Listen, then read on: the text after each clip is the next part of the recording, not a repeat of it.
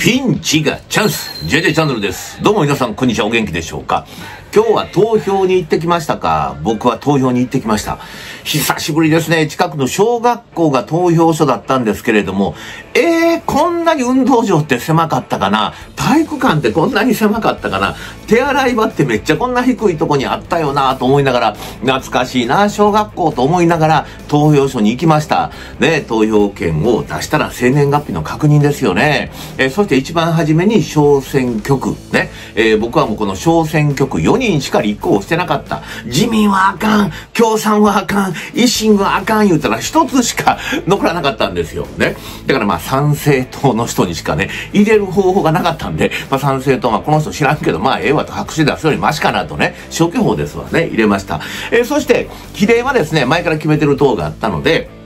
自民もあかん、共産もあかん、維新もあかんいうことで、ある政党に入れました。え、これはねじれです。ね、ねじれて政党が違うところに、小選挙区と比例と入れたということですよね。え、そしてですね、今日は、まあ、何の話をするかというと、この選挙の話は明日します。ね。今日結果が出ますのでね。僕がこの人落ちてほしいなと思う人がどうなってんのかとかですね。まあ、受かったらええなと思ってる人はどうなってんのかとかですね。まあ、その辺はですね、今後の政局に関してはですね、えー、政治にめちゃくちゃ詳しい、えー、この赤マスクが明日お話ししたいなというふうに思います。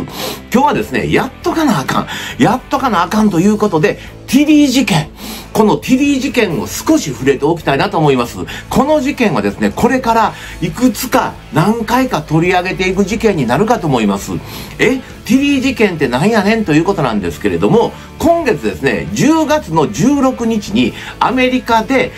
パフダディですね。パフダディ、今は TV 事件っていう風に言われていますけれども、大物アーティスト、イエイ、イエイ、イエイとかなんかこんなんして歌うラッパーってあるじゃないですか。ね。えー、僕は全然ラッパーのことわかんないんですけれども、これの超大物です。超大物が16日に逮捕された。で、普通の暴行事件とか、普通の事件で逮捕されたんではないんですね。まあ、日本で言うと、この間ジャニーズの事件がありましたよね。このジャニーズ事件の何倍もすごいような形の中で人身売買であったり、恐喝であったりですね、いろんな、まあこれ放火とかですね、えこれも辿っていったら殺人事件とかですね、いろんなことがですね、まあ、いわゆる想定される事件で、容疑もいくつもかかってるんですけれども、なんとスワットチームが彼の豪邸にブワー入っていって、ね、銃を持って入っていって、バーンと逮捕したということなんですね。まあ、すごい人です。そうですね。まあ、このチャンネルを見ている方ですね、ラッパーでアメリカですごい、え、ディディって言っても僕のようにわからないので、日本人で例えると、規模が小さくなりますけれども、日本のアーティストで例えるとですね、例えば、どんな人かというと、秋元康と桑田佳祐と足したような人、まあ、これぐらいのすごい人、ラッパーの分野ではですね、もうちょっと比べると、金額で比べるとですね、1000億円以上の資産、レコード会社も持ってるし、タレントとしてもですね、非常に売れてる人ですね。で、音楽で言うとですね、まあ、1000億以上、まあ、なんで稼いだかというとですね、こんな音楽あるじゃないですか。え、聞いたことある人いてるんじゃないかな。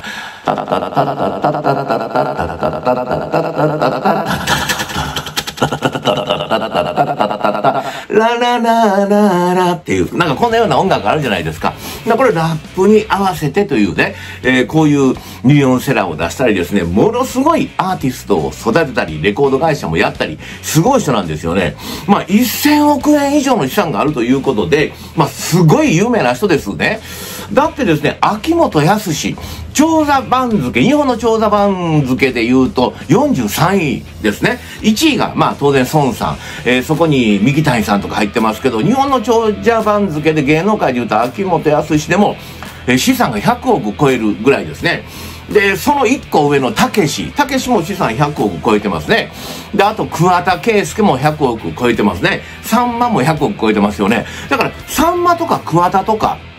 この辺全部ね、10人ぐらいすごいやつを足して、やっと追いつくぐらいの人なんですよ。だから、それほどすごい人です。だから、アメリカではですね、この事件、すごいね、すごい大物が絡んでたな。ところがですね、え声はですね、やっぱりかという声があるんですよね。第2のエプスタイン事件っていうふうに言われてます。あの、エプスタイン事件ですね。これ、もう知らない人が今いないぐらい有名な事件ですよね。世界中のセレブが、このエプスタイン島によってですね、え集められて、集められてというかですね、性的な思考ですよね。えこれで、いろんなことを、いや、まあ、やっていたというね、あの事件ですね。わからない人はこれでちょっと検索してくださいね。すごい事件ですからね。えジャニーズ問題どころの事件ではない事件が起こってるんですね。で、この第2のエプスタイン島と言われる、このティリー事件ですよね。これをちょっとご紹介したいなっていうふうに思うんですね。で、彼はですね、16日に逮捕されて、え無罪を主張しています。だけれども、彼には黒い闇がいっぱい噂されてるんですよね。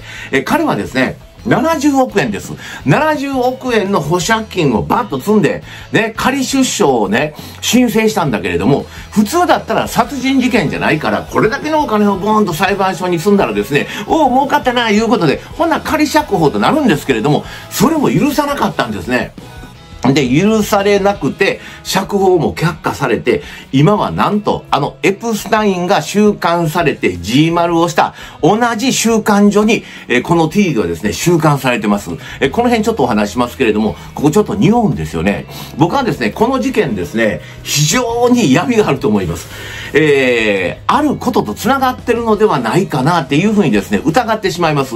この時期に、なんでこの時期に前から噂されていて、全く逮捕できなかった男が、なぜ今月の16日にこのタイミングで逮捕されたんやということですよね。これは、ああのことと繋がってるのではないかなというふうに思います。ただしこれは憶測ですからね、あと一月、二月、えこの事件をですね、斜めから見ていくと、本当の真相、闇の組織っていうのが浮かび上がってくるのではないかと思います。あの選挙の後にということですよね。で、彼はですね、この事件、どのように発端したかというとですね、え交際相手です。交際相手がですね、私はレイプされたとかで、薬物で彼に脅された、脅されたというか、まあ、薬物のね、被害に遭ったとかですね、それをですね、民事訴訟することから始まるんですよね。えー、ところがこれ1日で数十億のおそらく和解金をもらって取り下げたんですけれども、その彼女の告発に、私も私も私も私もということで、60人の男性、60人の女性、計120人の被害者が手を挙げて大変なことになったよということなんですね。で、これはですね、この被害者がどのような被害を受けたかというと、当然性的なことであったりですね、まあ、薬物のことであったり、いろんな被害を受けたんですけれども、この事件はですね、一つの大きなパーティー、これを中心に広げられていくことになるんですね。え彼はですね、えいわゆる彼がどのような生い立ちで、なぜそのような大富豪になったかということは置いといて、このような日本で言うと今言ったアーティストを全部束にしても勝てないぐらいの活躍をしている、このスターはですね、ホワイトパーティーというパーティーを年に一度開催していたんですね。小さいパーティーも開催してるんですけれども、このホワイトパーティー、セレブの間では、このパーティーに参加しないと、セレブの仲間入りではないというぐらい有名なパーティーだったんですよね。なので、このホワイトパーティーに何とかして参加する、このティリーから、パフダディから、この招待状を何とかもらうことができないかというぐらい、ステータスのあるパーティーだったんですね。で、参加資格はというとですね、当然この招待状をもらったものということになるんですけれども、このホワイトパーティーは全員がこのように真っ白なドレス、しかも高級ブランド、ファッションセンスがないという風になればですね、高級ブランドもちょっとこだわるんですよね。もう入り口でどんなセレブでも、お前はちょっとあかんって断られるぐらい非常に厳しいパーティーだったんですね。なのでですね、ここに参加してたのはですね、そうですね、政治家、スポーツ家、俳優、歌手、いろんな人が各ジャンルからセレブがいっぱい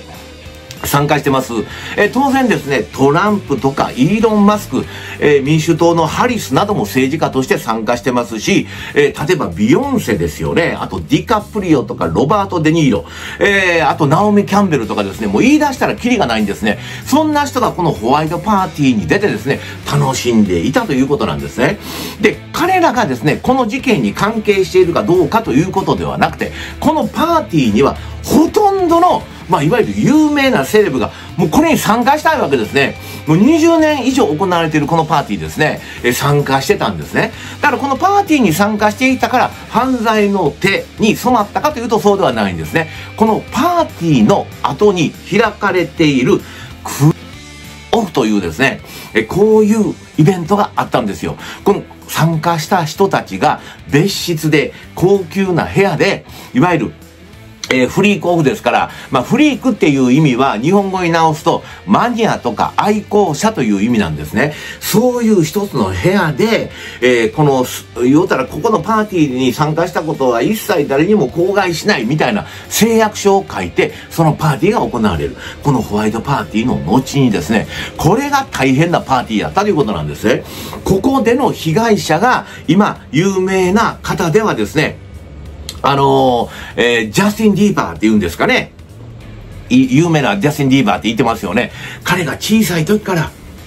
ここで、まあ、ジャニーズのように性加害を受けていたのではないかということが言われています。被害者としてね。で、彼がいろんなこれをですね、このことで悩んでいたとかいうこともですね、今どんどん報道されてるんですけれども、ものすごい数の被害者が数千人いてるっていうふうに言われてます。ただですね、このホワイトパーティーはジャニーズ問題と違うのは、子供9歳児から大人まで男女いてるということなんですね。そしてこの行くという意味ですね。オフというパーティーは愛好者とかマニアという意味ですから、その人の要求を果たすためにですね、要するに性的思考がいろんな思考がありますから、いろんな、まあ、いわゆることをね、行っていたというパーティーなんですね。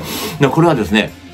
えー、内容ですね、詳しくですね、えー、このチャンネルで言うとですね、これも非常に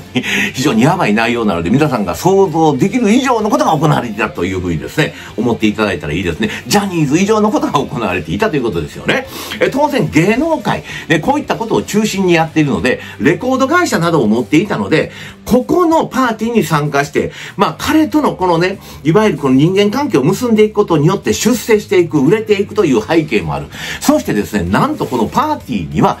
隠しカメラがいっぱい取り付けられてるんですね。なので全てのことが録画されている。で、この録画テープも全て押収されているんですよ。なのでこれに参加したセレブたちは一切口に着工していると。ね、そして不思議なことにですね、このリリーをですね、今回、まあ告発した恋人ですよね、のように告発しようとした人、ね、えー、またティディに反対、このようなパーティーをやることは危険だというふうにですね、異を唱える人たちが次々と大物たちですよね、なぜか、いわゆる変死、ね、お亡くなりになっていくということが続いているということで、これは、このディディはですね、非常にアンダーグラウンドな闇の組織、ね、これもボスをしていたのではないかとかですね、いろんなことが言われている事件なんですね。